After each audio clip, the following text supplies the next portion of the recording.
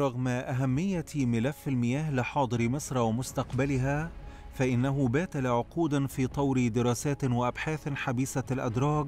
حتى وضعته القيادة السياسية في صدارة أولوياتها خلال السنوات الماضية. مصر في سبيلها لجمهوريتها الجديدة تضع قضية المياه نصب أعينها وذلك في كافة تحركاتها داخليا وخارجيا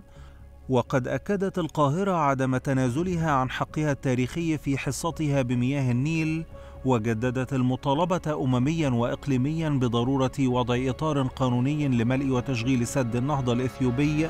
المنفذ على نهر النيل كما تجدد القيادة السياسية التأكيد على أهمية التعامل بمبدأ حسن الجوار بين الدول المشاطئة للأنهار. التحديات الجامة التي يواجهها قطاع المياه في مصر وعلى رأسها الزيادة السكانية والتغيرات المناخية